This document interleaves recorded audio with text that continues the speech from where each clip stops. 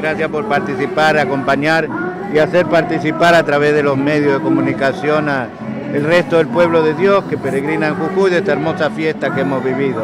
Bueno, Dios quiera que a través de esta celebración, de lo que se ha dicho, a la tarde tenemos otra también en la catedral, así que Dios quiera que llegue al corazón de todos este mensaje que queremos de, de que la fe también sea un vínculo de unión y que nos unamos los jujeños argentinos en lo más bueno que tenemos, que es la solidaridad, el sentido fraterno y el trabajar juntos por lo que menos quieren. Destacar la presencia de la imagen de la Virgen del Valle y también el mensaje del Papa Francisco. Así es, bueno, son regalos que ha recibido la Virgen hoy, ¿no? La visita a la Virgen del Valle y este mensaje que nos ha hecho querido, el querido Papa Francisco, nos ha hecho llegar para unirse también a nosotros. Obispo, ¿ya tiene fecha cuándo va a inaugurar el ojito?